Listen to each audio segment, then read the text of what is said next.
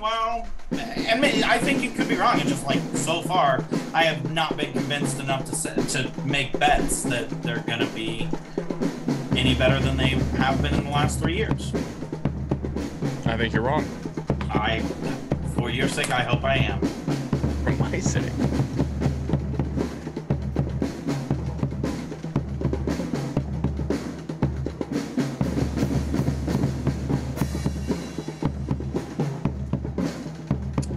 Hello, everybody. Welcome back to episode of the Fourth and Long Winded podcast. This is episode number 12. Um, today, we're going to be talking about getting back into the Power Five conferences, talking about the Pac 12 um, in our State of the Conference series. It's almost over. We're almost at the end. Only three conferences left after this, um, including the independents. But uh, here with uh, Cody, as always. How are you doing today, Cody? Hey, I'm tired, man. I've been to like a million weddings in the past three weeks, and I'm I'm ready to have a weekend at home. COVID's over. Everybody's weddings are back on. Shoot, ain't that the truth? All the weddings that were canceled last year, they're happening yep. this year, and then all the weddings that were supposed to happen this year are also happening this year. Immediately as it starts warming up, too. Like they oh, don't oh, yeah. wait until it gets to I, summer. Like, I haven't enjoyed a, a, weekend at home. Do I mean I don't enjoy yard work, but I'd like to do some. Yeah. Well, uh, we'll get into the Pac 12 here in a minute. Uh, I got four topics I want to hit on for some news. Um, this was just announced, I think, two days ago or yesterday. Dan Mullen for Florida. He's gotten a three year extension, and he's now um, the third highest paid coach in the SEC. So good for good for him. I think it's deserved. He's done about as well as Florida's done, and since probably Urban Meyer left. Honestly, yeah, I I would agree. Um, I I don't like these teams that you know you get a guy and he is winning and then he may not be right there, but then you find like Georgia did with uh uh Mark Richt, I think it was. Yeah, yeah. A few years ago. Like I thought like he's good, but he's not he's not gonna bring you to the promised land. Well, I thought that they were pretty dang close. Yeah. Um and I, I don't know. I, could get into that, but I think that uh, it makes a lot of sense. And if if I'm an athletic director, I I extend him. Yeah, I want to keep him. Um, we have some more TV times and national games announced. Um, schedule wise, getting even closer. Um, we talked about this in the Mountain West and the AAC. So both recently, the UCF Boise State game, which is we are both very excited for is going to be in prime time on ESPN at 7 p.m. on September 2nd. Um, so I'm looking forward to that. I'm wondering who else is playing, who else big is playing that weekend because it I don't not, think it's a Thursday night game. Oh, it's a Thursday night. on Thursday okay. night. So we yeah. know that's not going to be a, a, college game day. No, it is not, unfortunately. Uh, okay. I forgot it was the Thursday night game. Yeah um, Penn State and at playing when they play at Wisconsin that same week, um, September 4th. That'll be the big noon Sunday game or Saturday game. Um, and then Oklahoma, Nebraska is also going to be a big noon uh, game on Fox, um, which means it's going to be 11 a.m. local time in uh, Oklahoma. And Oklahoma's not too happy about that. Um, they're actually pretty understandably frustrated.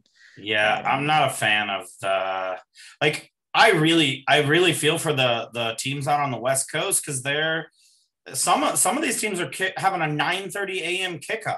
Like, yeah, like it, it doesn't not, make sense. That's not it.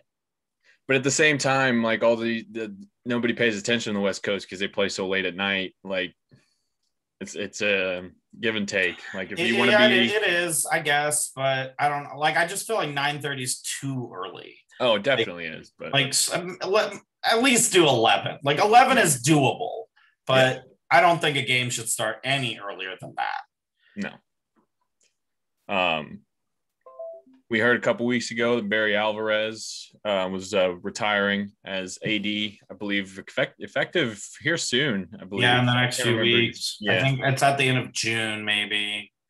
Yeah. I don't remember exactly, but um, but they have found. Yeah, yeah, they've they've found the replacement. Um, it's his right hand man, uh, man Chris McIntosh. He will be promoted to AD. Um, not surprising. No, not surprising at all. it's honestly the Wisconsin athletic program has done quite well under yeah. under him, and so it makes sense to hire someone with and You don't need. I agree. Blood. Finally, um, it's not really a news topic. It's more just I found this interesting. so Oregon plays Ohio State. Um, it's it's week two, I believe, actually. Yeah. Um, and so uh, on a local radio show recently, the Oregon AD came out and was talking all a big game about how they're going to go into Ohio State and show show Ohio State what Pac-12 football is really like this yeah. fall. Uh huh. Yeah, we'll uh-huh. see how that goes for them. Yeah, I'm, I'm excited to see what uh, Pac-12 football looks like. Yeah. The the shoe. Yeah. Yeah. All right. Well, uh, that's all I have. So let's uh, let's get into the Pac-12. All right. So for the Pac-12, um, I I don't. I'm probably going to end up saying way more than I thought I would. But as I was doing my research, I don't have a ton right now to say about a lot of these teams. Um, little bits here and there. Uh, I just don't I don't exactly know how to feel about the Pac-12 and I've said that a lot for a lot of these conferences. And I think that's partially because 2020 was just a weird season where I, I didn't get the full picture for especially the Big 10 and the Pac-12 I didn't get get a full picture of what mm-hmm. they are doing. And uh but the first team that we're going to talk about I am I'm I know exactly what they're going to be this year it's uh, Oregon State for all yes, those, you know. Who, yes, who, Oregon State uh, is going to be bad. Uh, that's that's really it. No, I mean you're not wrong. That's kind of what they've been throughout yeah. their entire existence. yeah, so I just don't see this team improving much under Jonathan Smith, uh, their, their head coach. Um, they have 11 commits, and 10, 10 of them are three stars, and one is a two star. Um, they're nationally ranked 109th in recruiting, 12th in the Pac 12, which is a massive drop. Oh my God, yes. From the previous year at 54. Um, they were ranked 54 nationally last year. Uh, and then moving towards the 2022 recruiting season, they are currently ranked at 44. So it looks like maybe this was an off year. It also is a smaller class. Um, I was very surprised looking into um, looking at their past recruiting rankings over the last five years. If you think about Oregon State and where they're at and like who's around them in terms of com- competition for recruiting, you got obviously Oregon in the same state, and then you got Washington and Washington State just a state above, and then you got all the California teams. Um, so you got to imagine they're probably on the bottom rung, but they still have recruited fairly well comparative com- comparatively, relatively, being in the 50s right. pretty much the last five years or so. Um, yeah, better than so, Purdue, which is Purdue's probably kind of thought of as a better program than Oregon State, yeah. but they recruit better than Purdue does. Yeah, I always, I always manage to bring it back to how bad Purdue is. I mean, I don't think Purdue is that bad, but anyways, uh, back to Oregon State. Uh, the university has it has pretty decent facilities. Like I would honestly say, their facilities are probably middle tier for the Pac-12. Um, and but they but they pale in comparison to uh the big brother in the state and up yeah. up in Eugene. They did get a uh, they did get one over on them this past year. They did upset Oregon this past yeah, year. They did, uh, which that that's a big deal.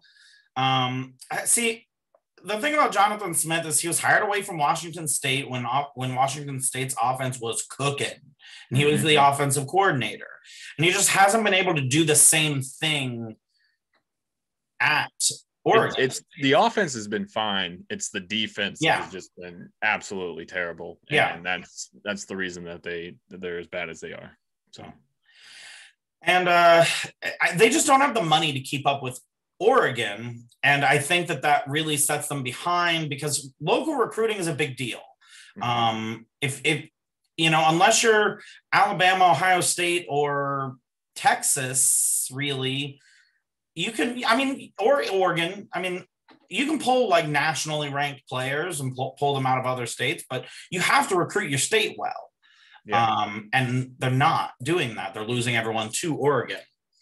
Um, and they're one of the like few power five teams there's there's a couple that's willing to travel to group of five teams and play them and i just don't think that's a good sign um it, I, I hate the division between the Power Five and the Group of Five, but if you're a Power Five team, you don't go play at Group of Five schools like Wyoming, uh, which yeah. I think they have scheduled sometime in the next few years. Um, and like I don't know. Yeah, I agree. Well, that kind of leads us into our the schedule for this year, um, which I'll run through real quick. Um, I mentioned Purdue just a second ago. They do open at Purdue. Um, I think that should be a win for Purdue to start the season. Yeah, I'm, I'm, I'd put money on that. But I don't know with this team. I never do. Um, then they play home to Hawaii, home to Idaho. Um, and then they get into conference play starting at USC, home to Washington, at Washington State. So, and then Utah. So they got a pretty brutal um, open First conference stretch. play. U- USC, Washington, Washington State's not as good as they were a couple years ago, and then Utah. Um, and then they play at California, at Colorado, Stanford, Arizona State, and then they finish off at Oregon this year, um, up in Eugene for that rivalry game. Um, but yeah, isn't that game called like the War or something like that? Uh, they changed it. Uh, it was called the Civil War, and actually, it may That's be right. now just called the War. Um, but they changed it this past year. Gotcha. Um, uh, yeah, that's all I have. Yeah, for for like, what's your over under on wins for them? I mean, if you if you win, if you, if they win three to four games, I think you're happy. Yeah, I I'm happy. At, at, I think they have. Maybe you're not happy. You're not happy, but no, you're not. No, like, but you're at least like, okay, this wasn't a wash. Yeah. Um, I probably said it over under at two and a half. Honestly. Yeah, um, I I put that there. I, Maybe three and a half. I, they have five winnable games. Yes. Um, they will not win all five of those games. Uh, and honestly, I, okay. So I also pulled this stat. The last time they had a winning season was 2013. Yeah, they only have two have, 10 win seasons in their history. and both of them did come from 20 or from 2000 to uh, yeah. 2013. So I mean, I guess they're in the golden years of Oregon State football, but sorry, so. the yeah. you have great color scheme, but nothing else. Fantastic, and they've produced the the best Bengals wide receivers ever. Chad Johnson and T.J. Houshmandzadeh both went to Oregon State. Keep keep producing those wide receivers for us, please. Yeah. thank you. That's all I got. Yeah, I don't have anything else on them. Uh, all right, so our next team is the Arizona Wildcats. Um, their national ranking for recruiting is 78th, which actually is a, is a bit of a fall off from their previous national ranking of 58th.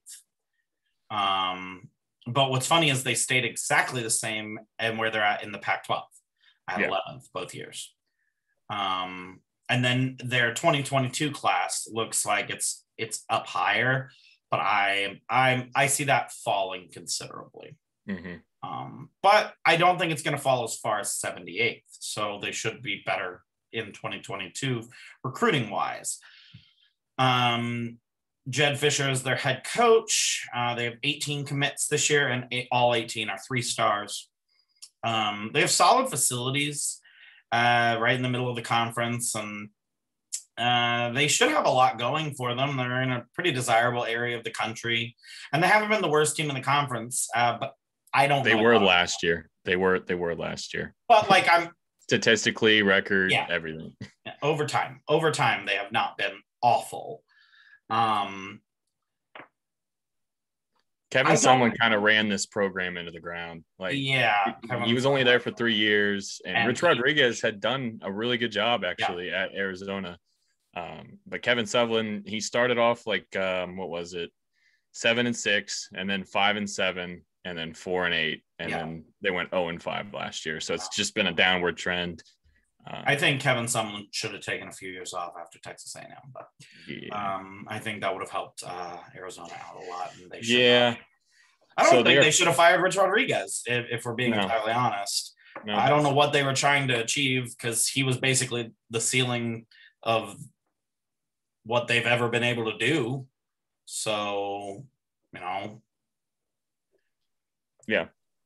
I don't know. So they are actually, uh, I don't know if you knew this, but they're actually still currently on a 12 game losing streak. Um, they went Wow. on 5 last year. it's a 12 game losing streak. And the, the most recent was the humiliating 70 to 7 loss in their final game to Arizona State. Yeah, that was rough. Um, that was, I watched that that was game. That was rough.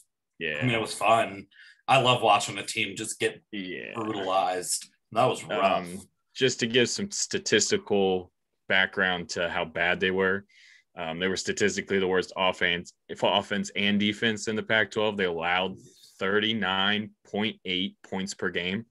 Um, Now, obviously, that 70 burger that they got at the uh, last game of the season probably bumped that up a little bit, but still. I, I think I know why that happened. Uh, because they're a basketball school now, so they were trying to match the basketball team. Gotcha. Gotcha. Makes sense. Good for them. And it, it, I mean, this is pretty much rock bottom, I think, for the football program. I think it can only really go up from here. Yeah. Um, I don't know. Jedd Fisch is interesting. Um, I'm a Patriots fan. He was the Patriots uh, quarterback coach Yeah. um, before he got hired. Yeah, I was actually um so I did a little re- research on him, but I don't know I don't know shit about him. No, I I, know he's it- been an assistant in the NFL for a long time. yeah, and was uh interim coach at UCLA for a hot second. for two games after they fired Jim Mora uh for Yeah. two games. Um and the thing is like I don't understand why they hired him. Um I mean I guess there's like who else you can hire, but like of the new coaches, like I did not know who this was at all. Maybe he just killed it in the interview. I don't know. Maybe. I hope he kills it, you know, winning a game. A That'd be game. for them. They'll they'll win a game this year. You Yeah. know why? We'll talk about it. I'll tell you exactly the game they'll win. All right. not gonna Let's, be the- let's go, let's go into their schedule then. It's not the first game. They open up in a neutral site game against BYU. Yeah, they're not Um, winning that. No, that that's that's gonna be played at Allegiant Stadium in Las Vegas. All um, the Mormons are headed to Sin City. How is that Yeah. to work?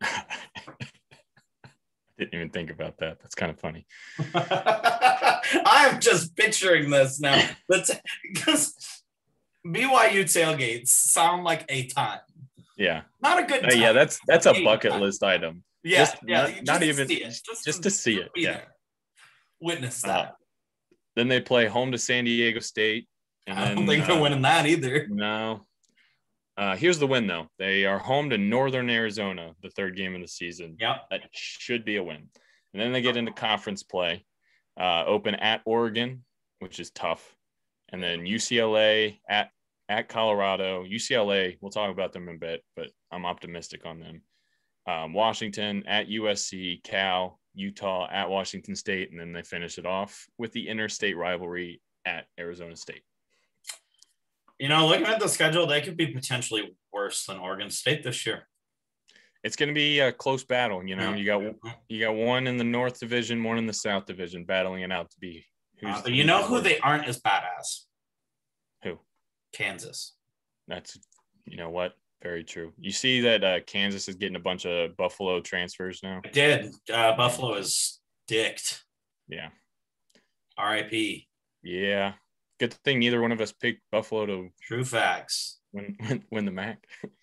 True Uh, facts. That's all I got on it. Yeah, I, I don't have anything else on Arizona. Don't expect them to be good. If they win, if they win four games, I'll be surprised and happy for them. Yeah. Yep. Um, Moving on to Colorado. Colorado. Yeah. So I was kind of shocked looking back on the recruiting rankings the last couple of years. Um, they they they got up into the 30s a couple of times. Yeah. which shocked me. well, I think they had that one season that was like super good. They got up to like ninth in the country. Yeah, like yeah. They were like undefeated, and then they stumbled a few games, and I think they like rode that to a recruiting like coup for a number of years.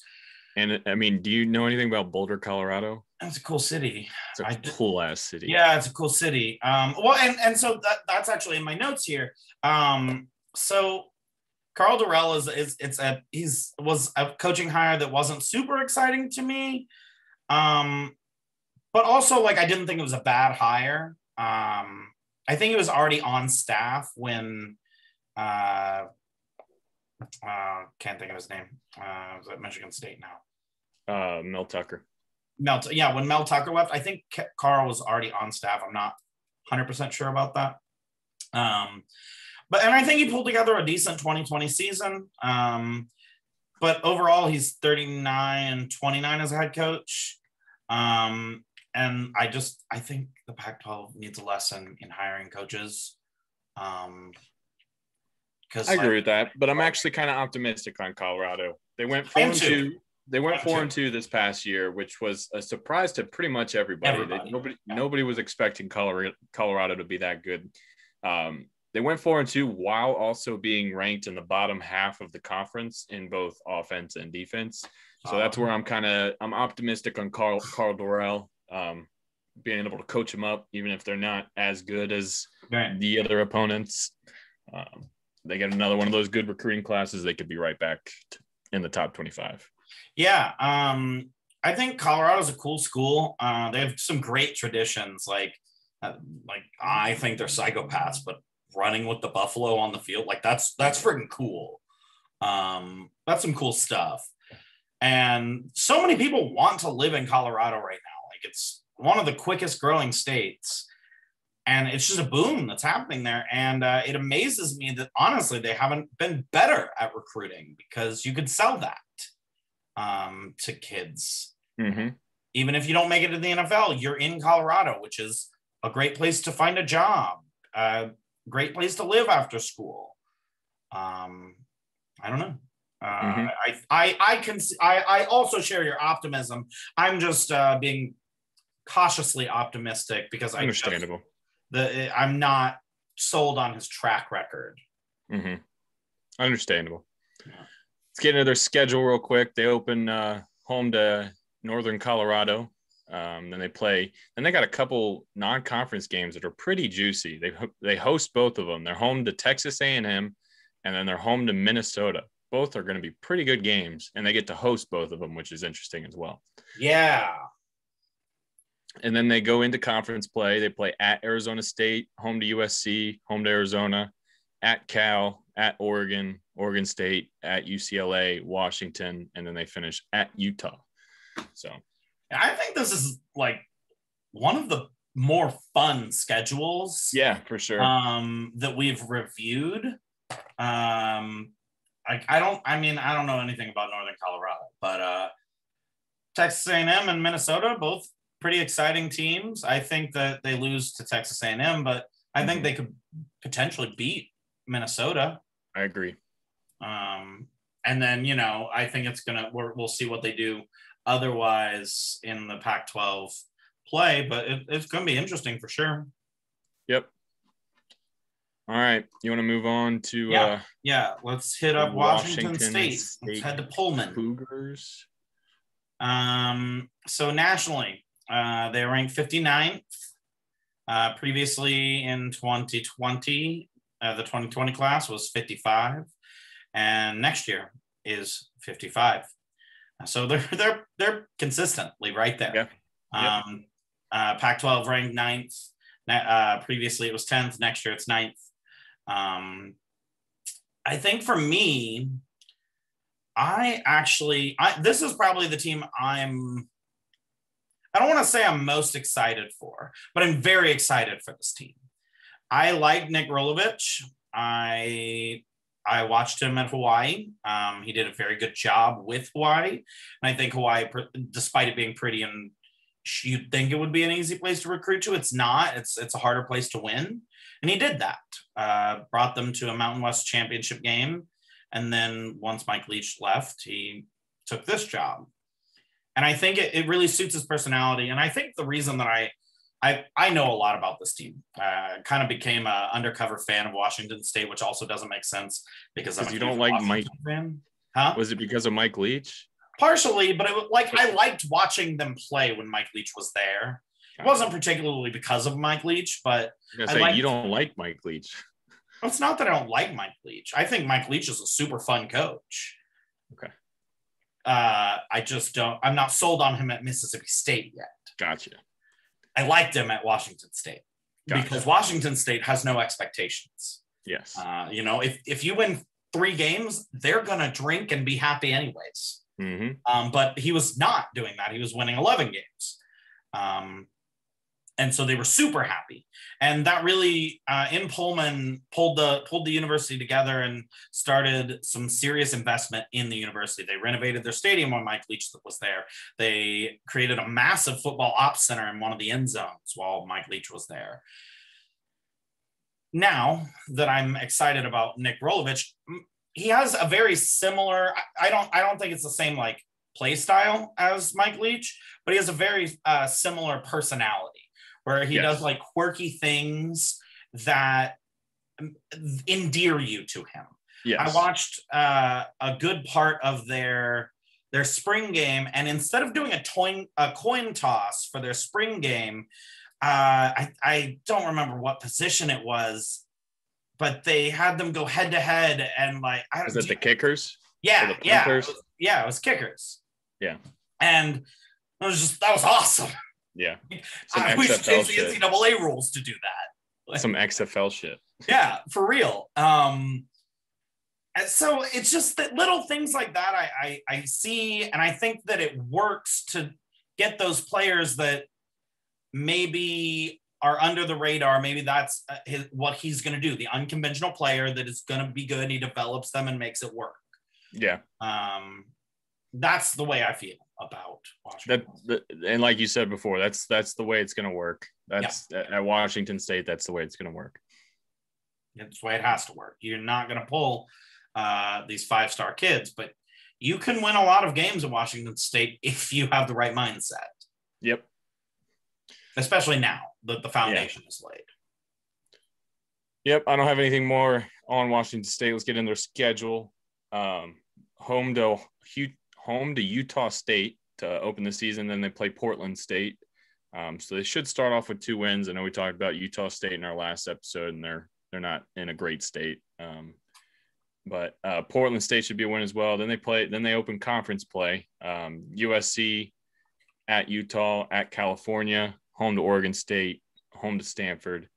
Then they play BYU at home, and then at Arizona State, at Oregon, Arizona, and then they finish with their interstate rival Washington, and that'll be at Washington. Yeah. Um, I think they're, I mean, obviously they're, they're non-conferences relatively. Blah. Yeah. I mean, BYU, that's, that's actually a decent opponent um, Yeah. that they're pulling to uh, Pullman, which will be nice. They'll fill the stadium for that. Um, BYU travels really well. So Yeah, yeah, I'm, I, I, I don't know. I don't, I don't, I don't know their win total, honestly. Um, I think maybe, you know, seven games is, uh, is optimistic. seven games is super optimistic. Yeah. optimistic. They went one and three last year. Yeah, and I, I'm saying seven games is optimistic, but like, I'm looking at this and I could see them pulling out. I could see them winning about one, about five of the games, and maybe they surprised me. I think that's a that's fair. Five games, probably set the over under at four and a half. Yeah, But yeah. Nah, probably set at five and a half. I don't know. Okay.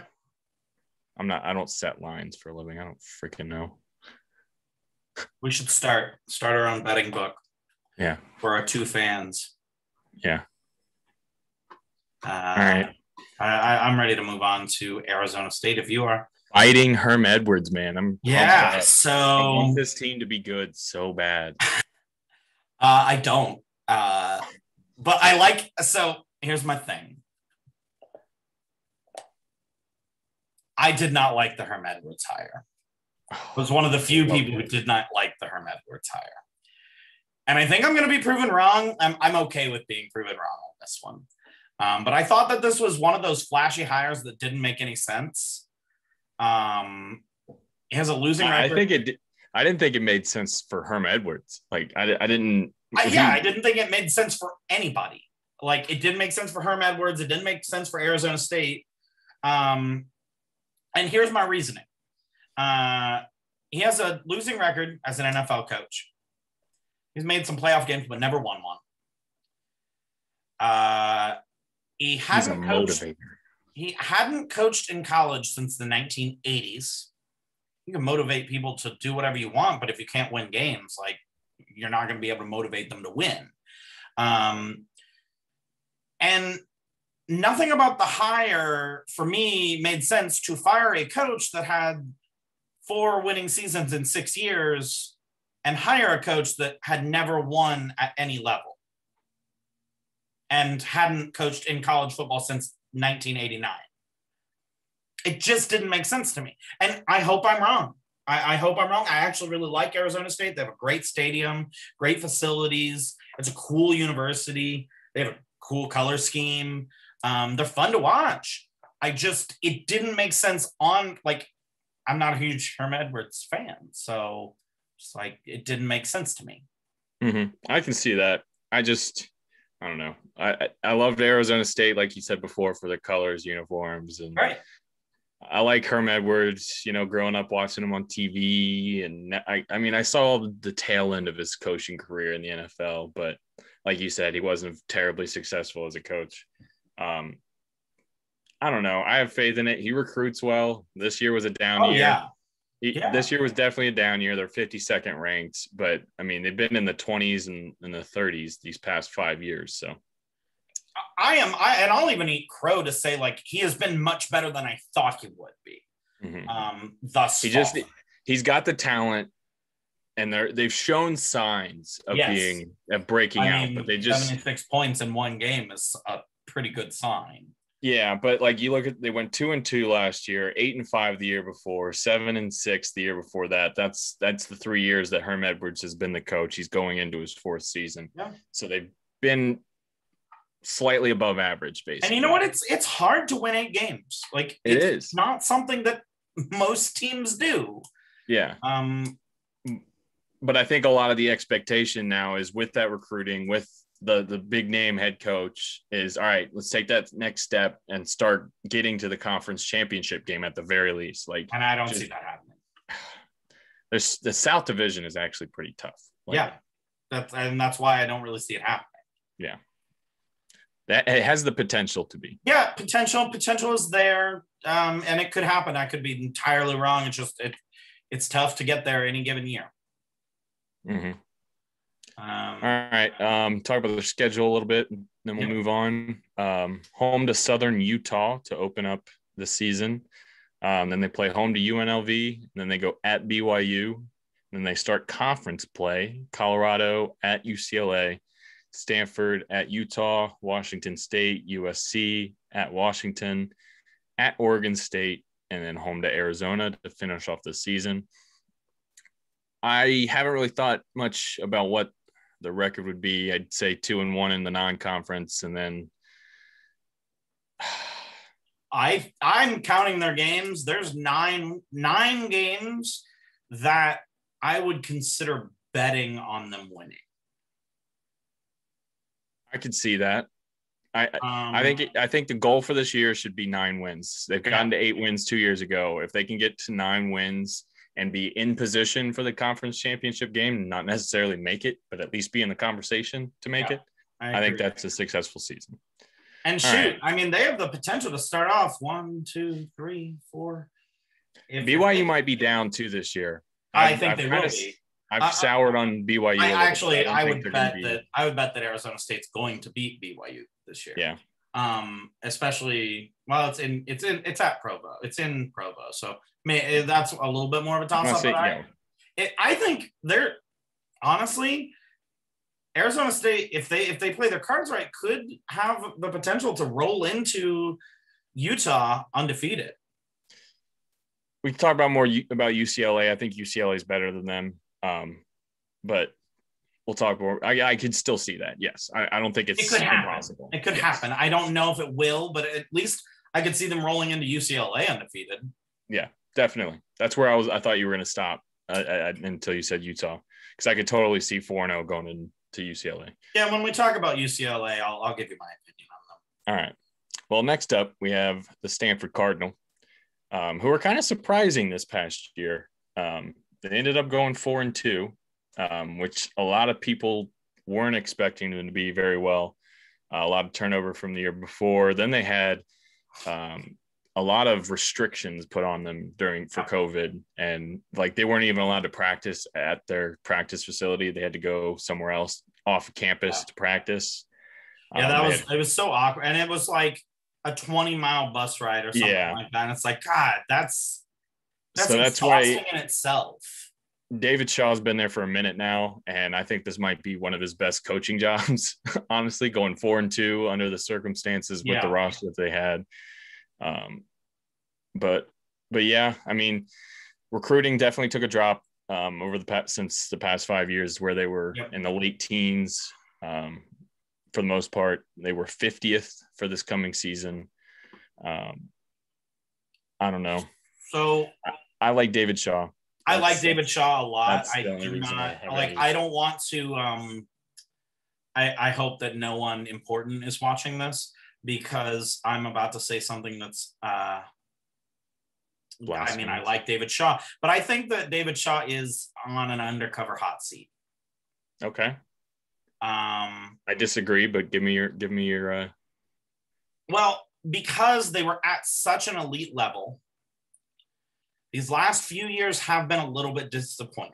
They were a even- lot better than than where they are now. They've dropped I dropped agree. pretty significantly. And I think that Stanford is one of those schools that cares about athletics a lot more than they pretend they do. Because Yeah. at, at their Olymp- at the Olympic level, they have like national championships and world championships, and they care a lot about those Olympic sports. So it would be obvious that they care about football too, um, the sport that actually makes money for them. hmm Uh, so I, I don't, I'm not going to say like he's being fired, but I hope he has a good season this year because if he doesn't, I think that I think this year could be a rough year. I, I don't think they're. I, I think it's going to be another year or two before they're back. They're going to be losing their starting quarterback Davis Mills. They're losing some offensive linemen. They're losing. They're losing a bunch of people from this past year where um, they're going to need to replace. I think this is going to be a down year for Stanford, but I think it, I, I it's fine that it's a down year, but I think that they need to make a bowl game. All right. Let's get into their schedule a little bit. Um, they do have an interesting opening game. Um, they Yeah. play a neutral site game at Jerry World uh, versus Kansas State. That's a weird, Yeah, weird matchup. I, well, I'm not upset about it. I love weird matchups, but to be at Jerry World, that's a weird matchup. Yeah. Um, then they start conference play a little earlier than other schools. They play at USC. Then they jump back into the non-conference play at Vanderbilt. Yep. Um, then they jump back into the conference, play UCLA, Oregon, at Arizona State, at Washington State, Washington, Utah, at Oregon State, California, and then the big one they finish home to Notre Dame. Um, so one thing I like about their schedule is that they get all of the tough teams at home. hmm That's I agree. really nice. Yeah. I mean, you get Oregon at home, you get UCLA at home, Washington. Washington at home, and you get Notre Dame at home. hmm They've got to win at a minimum one or two of those games. Yeah. Being at home. I agree. Um, and then, you know, that gives you two wins. Maybe you beat Kansas State. You're going to beat Vanderbilt. So you got your Yeah. four. Yeah. And then you just win a couple games on the road and you're at six and six and you're in a bowl. hmm There you go, David Shaw. We've we've mapped out the way Just, just do it, man. Um, Just, just do it. Why can't you just do it? that's Oregon. They, just do it. Ah, you're right. All right. Um, I don't have anything else to say on them. Uh, let's move on to Washington. Yeah. Uh, Washington is is my favorite team in the Pac-12. Okay. Um, not to win this, like particularly this year. Just your um, personal favorite. It's my personal favorite in the Pac-12. I love their stadium. I think it's one of the coolest stadiums. It's built, built right on Puget Sound, um, and they sailgate, and I think that that's cool. It's a stadium that I would. It's probably number one on my stadiums to go to a game at. Just think it's beautiful. Fair enough. Um, and I feel optimistic about them this year. Uh, they have a big bit, they're in a big, big metropolitan area, so they can recruit that. And then they can also pull kids from around the country because the Pacific Northwest is now cool. Um, and they had a great 2020 season. Uh, they should have been in the Pac-12 championship, but because of COVID, COVID. The, that that was that was uh, not available to happen. Um, yeah, I mean, I think that. I think Jimmy Lake was um, a great hire. I mean, it was kind of an obvious hire because it was yep. the coordinator under Chris Petersen. Um, but I think he stepped in and he's kind of just kept that championship mentality yep. um, in the program, kept that defensive mentality yes. in the program. Yeah, I mean, um, when you when still you, a great defense. Yeah, and when you have a when you have a winning program, why change it? Why change yeah. it by bringing in somebody new? Mm-hmm. Let's bring let's just p- promote somebody that's used to it, knows what to do, and makes it happen. Mm-hmm. Um, and I, I agree, great hire. We forgot to say what they were ranked uh, nationally in recruiting, uh, which they're at 36 this year, which is actually down. Previously in 2020, they were at 17, and next year they're at 41. And I see that also like I see them moving down in the recruiting to like the 20s or maybe the 30s. They, they do have a big pickup this year in recruiting. They got a five star quarterback, uh, yeah. local guy, Sam Huard. Um, hmm, That's going to be exciting. Yeah, so. they had one five star, three four stars, and 11 three stars. Solid class. 15 overall commits. It's actually not a huge class, but solid. I've noticed that all, I think it's because of that NCAA rule that um, you're allowed to have another year of eligibility yeah. because of COVID. Um, so a lot of the, I noticed in the Pac-12 especially, a lot of them have smaller classes classes, and they've dropped in the rankings pretty significantly. Um, so I don't think it's too much to look into um, in terms of the ranking. Yeah, classes on an average ranking are still really good. So. Yeah. So for their schedule, they uh, start out uh, hosting Montana, who I in a previous episode confused with uh, Wyoming. They're the same place. They're essentially the same. Uh, yeah. But Wyoming has a much cooler stadium than Montana. They just um, are cooler in general. Much cooler. A better, better color scheme, everything. Anyways, uh, just gonna so, shit on Montana for a second. Then uh, Washington heads out to Pure, Michigan. Uh, big game. Big old game. Big game. Um, that's that's going to be a fun game. I think should be a good game. Be, that's going to be like a ten to three final. yeah, yeah. I mean, it's going to be a low, low scoring, knock them around football game. Yeah, and I I would personally, I, I I have plans that weekend, but personally, I would love to go to that game. That'd be a game I'd love to go see. Yeah. Um, I honestly like Jimmy Lake is not on the hot seat at all, whereas I think uh, Jim Harbaugh is has a little bit warmer of a seat. So I think that is a must win for Michigan. Um, I think they should win that game. I think they should. Uh, but Washington could surprise me. Yeah. Washington's going in their house money. Like, yeah, all the yeah. pressure's on Michigan. Like, yeah. Washington loses, nobody cares. Like, yeah, exactly. Just go but back. Michigan loses, and they in trouble. Yeah. And uh, Washington's right back on the map. They probably jump up into the top 20, top 15 easy, rankings. Easy. So easy. Yeah. So then they host Arkansas State and the uh, Fighting Butch Joneses. Mm-hmm. Uh, and then they host Cal. Uh, then they go to Oregon State.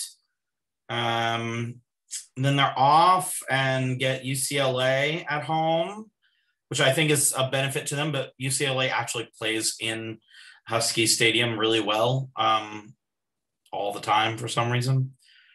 Uh, then they're at Arizona, and that's an evening game, so it'll be very cold. So I think it actually suits Washington's uh, strengths better. Um, at Stanford, when they host Oregon, uh, and they host Arizona State at Colorado, and they host Washington State. So they get the rivalry game at home. They get some of the tougher games at home. Uh, it, it, sets up to be a pretty good schedule for Washington. Yeah, I agree. Um, over under, I'm looking they can win one, Eight and a half, three, nine and a half. four, five, six, seven, eight. I could see him winning 10 games. Yeah, I could see him winning 10 games. I could I mean, and really like there's a couple like if they if things go their way, they play really well and they're better than we expect. 11 I think the only games they won't be favored in are at Michigan, home to Oregon, and that might be it. Yeah, I, I I agree with you. I think they'll be favored in all but those games. I think, mm, yeah, yeah, they should be favored in all of those games. Um, I I really, really see that. Optimism around Washington. Yep. I'm I'm more optimistic about now looking at the schedule. I'm more optimistic than I was, and that's saying something. Look out for Washington this year, y'all. Just, just, just keep an eye on them. Yep. All right. Uh, Utah is uh, the next team that I have here. Yep. The Um, Utes. Uh, The Utes, uh, and I'm pretty high on Utah. Um, Okay. And not particular. I haven't looked at their schedule yet this this year. Um, I gotta. I have to pull up their schedule. Uh, but I'm I'm high on them just based off the fact that they have a coach that's been there a while. He's a good coach. You know how long he's been there? Yeah, 16 years, 18 years. 18 years. He took over for Urban Meyer and I know. just hasn't left. He's entering his 18th season. This this coming year will be his 18th year. Huh. He's only had two losing seasons in that time, Yep. which is impressive. Honestly, if you're Utah, you after having Urban Meyer take you undefeated and whatever, uh, maybe they weren't undefeated, but they were really good. Yeah. And a lot of those, a lot of the times where these big coaches leave these smaller, I mean, they were in the uh, Mountain West at that Yep. point, or yeah, um, they just nosedive. And Kyle Whittingham has stabilized it and kind of kept it going. Um, Yeah. Oh, and they had that season, I think it was I think it was 2019 where yeah, a couple years they they made the Pac 12 was it the Pac 12 championship game It where they lost? Yeah, they lost to Oregon, I believe. In the Yeah, and if they would have won that, there was a I, there was talk that they would have made the playoffs. yeah. Um, I think it would have been like a toss up that year between them and somebody else. I don't remember who, but you can't ask for more than that. hmm Um, you know, uh, looking at their schedule. So, and uh, sorry, before we hit their schedule, uh, they have a great stadium. They have nice football ops facility, practice facility, and uh, they recruit well. But then the kids get coached up, like they're Mhm. improved from when they get there Yeah. um, that's that's what I have to say about specifically the the culture around the program. Looking at their schedule, um, they've got we is it Weber State or Weber State? Weber State. Weber State uh, at at uh, at home, and then they are at BYU. That's their their rivalry game. I think they win that game. See, okay, but I'm gonna stop you there. I don't think they win that game, and I'm actually kind of down on Utah. Um, but the only reason is they need to find good quarterback play. They need offense. Their defense is Yeah, fine. Their defense is really good, but they're not going to win anything of significance. They're not going to beat anybody they should they uh they shouldn't be. Right. Right. Yeah. I don't. I, solid I, I agree. quarterback I, I think they could win at BYU though. I They think could. BYU is going to be down this year. I, I just don't think it's like all right, knock that off as a win. Like they yeah. struggled on offense this past year. Yeah. and yeah. I, I'm not. I'm not saying it's a definite win, but I'm saying it. It is. I. I would favor them. Yeah. Um. And then they're at San Diego State, which I actually think is a tough, tough game, being at San Diego State. Um. But I think that they win that game. They should. They should win that game. Um, they go to Washington State. Realistically, they should win that game.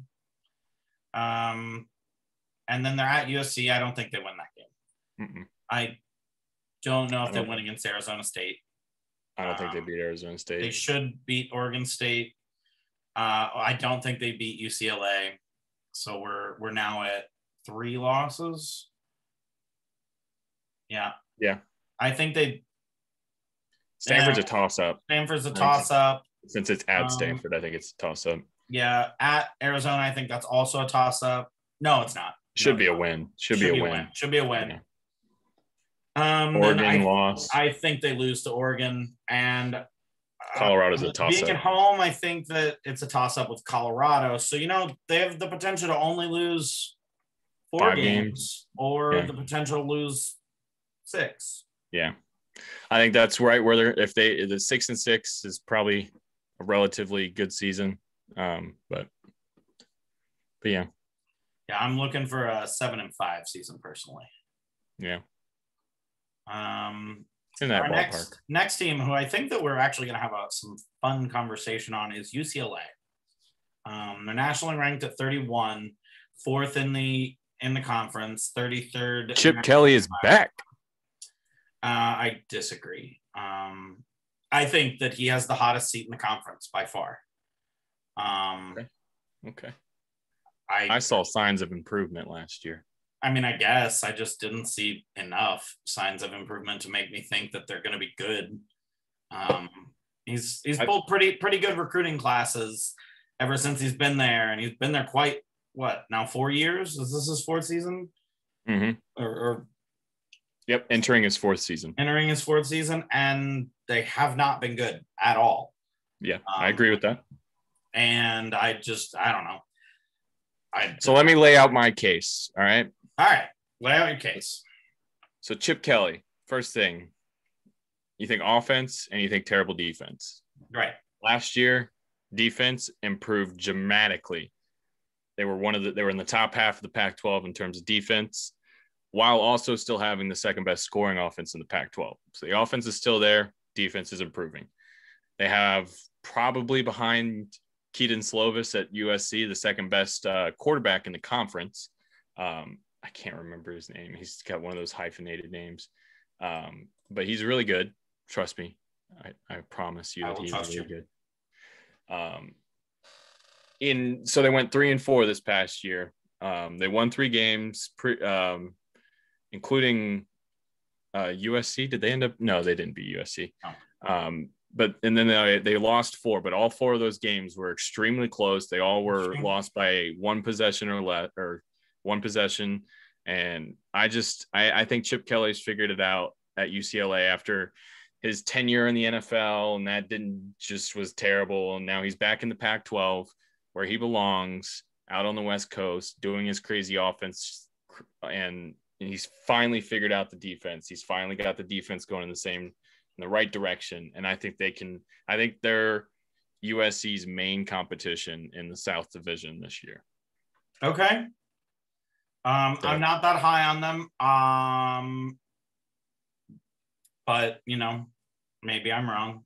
Uh, I I personally think that they are probably going to struggle a little bit because their second game is against LSU, and I think LSU's better than them significantly.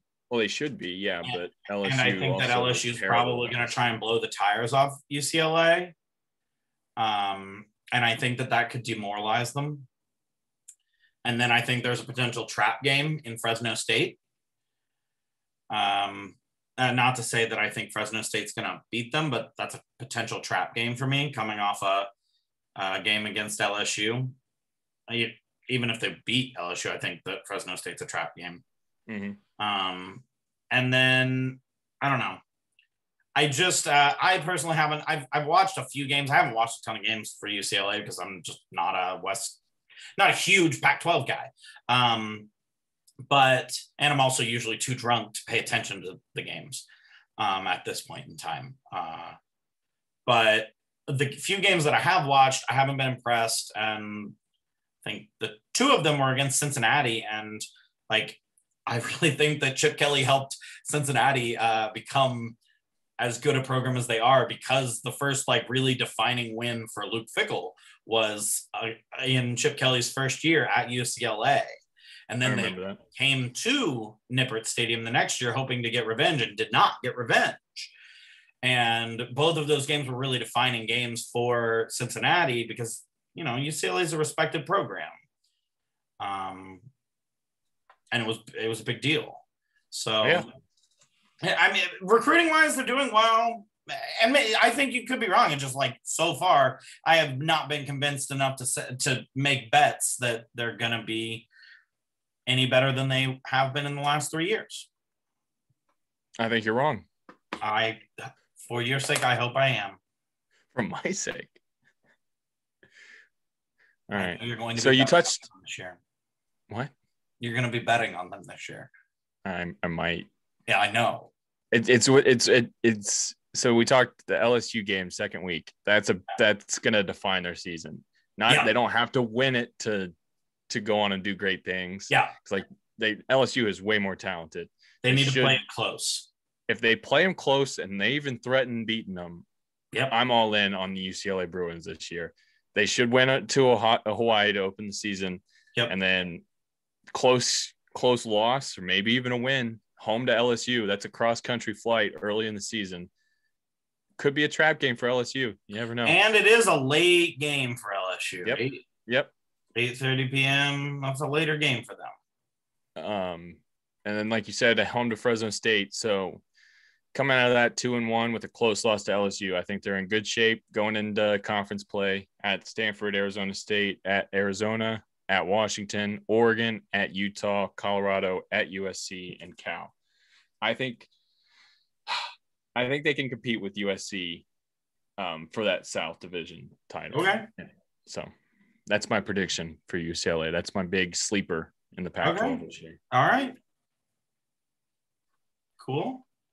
Um. So I, I think here's this next one that's weird to me.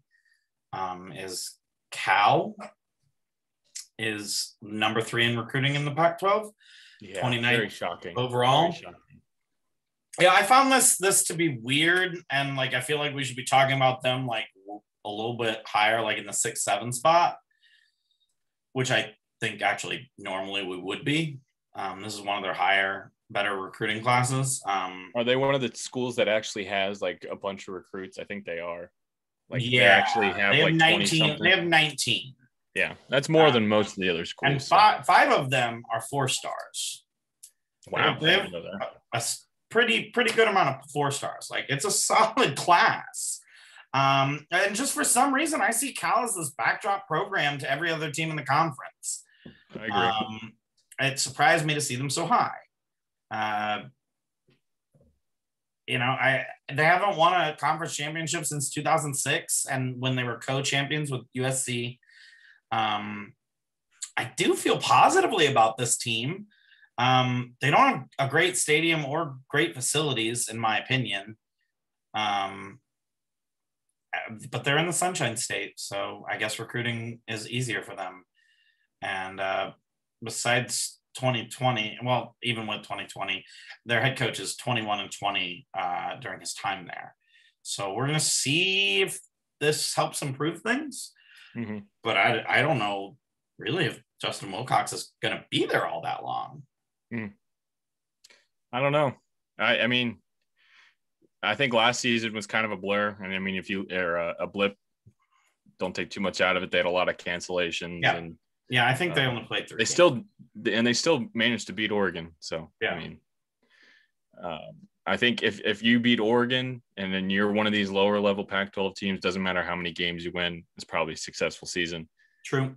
Um, but before this past year, they were eight and five the year before in 2019, seven and six the year before that, after going five and seven for two straight years. So there there was an improvement up until mm-hmm. this past year. So being a very important year for Justin Wilcox um, to show he can bounce back and keep that upward trajectory that they were on going. Yeah, I agree. We'll see. I agree. Um, Talk about their schedule. Yeah, let's look at um, their schedule. Home to Nevada is how they open up, and then they go at TCU. Um, and, and, I think that's a toss-up game. Yeah, um, I can.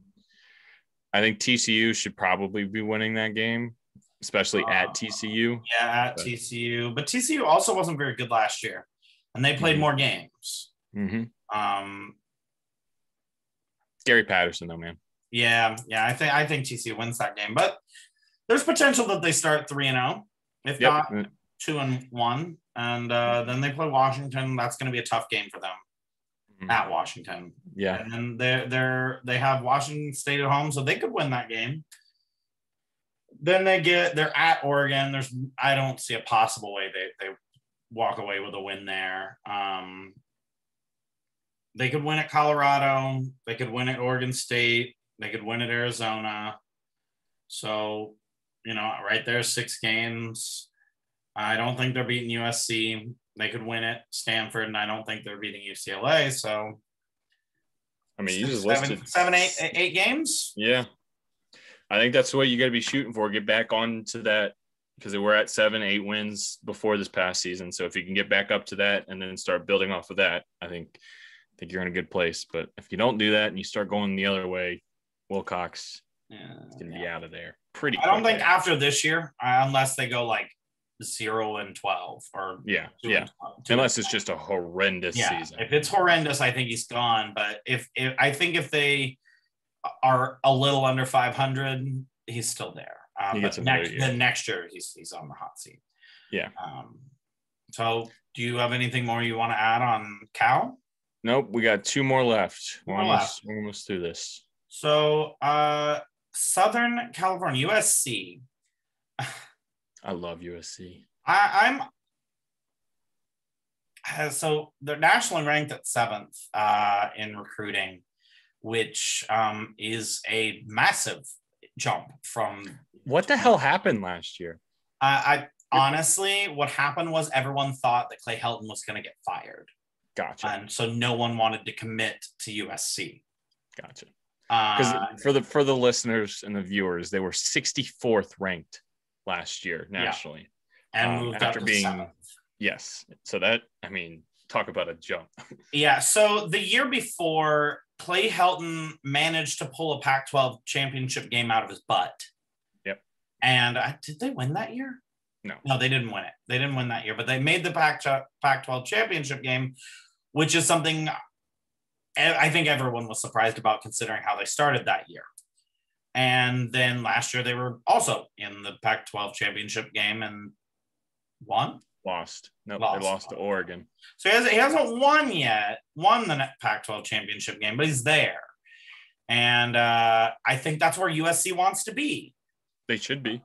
I, I think he needs to work on winning more, winning more non-conference games, frankly. Um, but you know, I, I have, I have long said that uh, if, if USC fires Clay Helton, I think that uh, an obvious candidate would be Luke Fickell to replace him. Um, and but but but that being said, if he keeps making Pac-12 championship games, I don't think they're firing him. Yeah. Um, because USC was down bad for a few years there, and uh, If if USC is really going to be back to their mid 2000s form, um, this is the year it's going to happen. yeah, Um, it's it's really kind of all set up for them.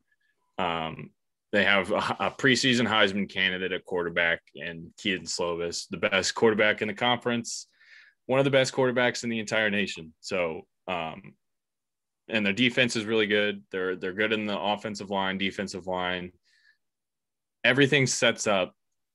Oregon's a little bit down. Like there's everything sets up where if they're going to be back for good and if Clay Helton's the guy to do it, this is the year that they're going to break out yeah. their and I mean- non-conference schedule. I mean, they do play at Notre Dame, but their non-conference schedule it sets up where they're not going to have too many difficult trap games, or they Yep. don't.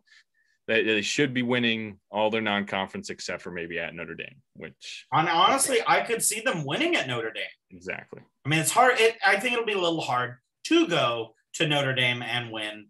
That's a hard place to win, but I could see it happening uh, because I think Notre Dame is going to be a little bit down this year, just unloading from last year. Yeah. When's the Uh, last time USC did beat uh, Notre Dame? It's I You know, like I'm not sure. Uh, I'll, I'll talk a little bit more about their schedule while you uh, look that up. But they they start with San Jose State, which that's actually a, a solid non-conference team based off the results from last year. Uh, but I think they win them. It's at home.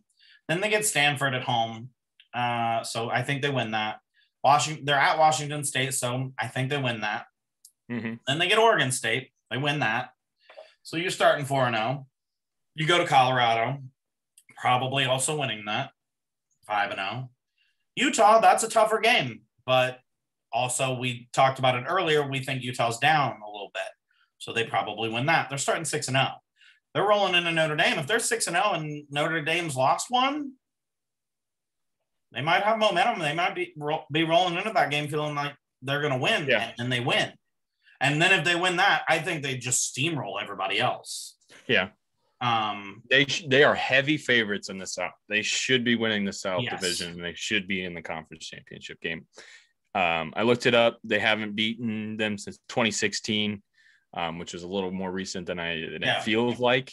Um, but still, Yep. Yeah. So I mean, honestly, if they beat if, if they make it to Notre Dame undefeated and then beat Notre Dame, I man, the media will go crazy. yeah USC is back. yeah The Trojan. uh, I can I can just picture see it now. man. Yeah. Every, everybody everybody but Joel Klatt will be like just sucking them off. Yeah. So yeah, I'm I'm this is a make or break for Clay Helton more than it is for UCL USC on a whole because USC's got a shit ton of money. yeah. So like I think expectations are super high, and I think that's Yes. that could actually hurt Clay Helton this year. Um, if he doesn't do it this year, I mean he's going into a seventh season now. Yeah. It doesn't feel like he's been there for seven years, but you know, and he life from, happens. from everything I've heard, he is literally the nicest human. Um, like just an absurdly grateful guy to be at USC. Like yeah. interacts with the fans and just uh, you could not.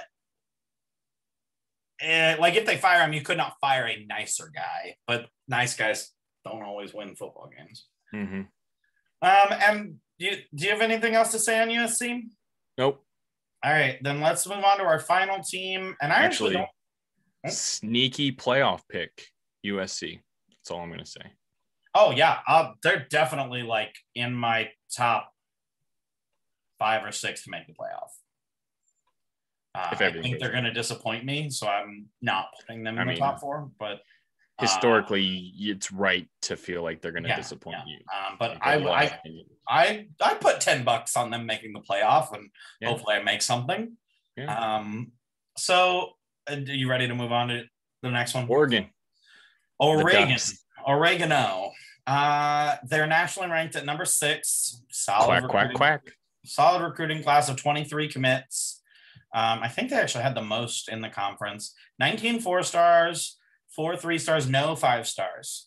Um, But 19 four stars. 19 four stars, man. lord. That's that's.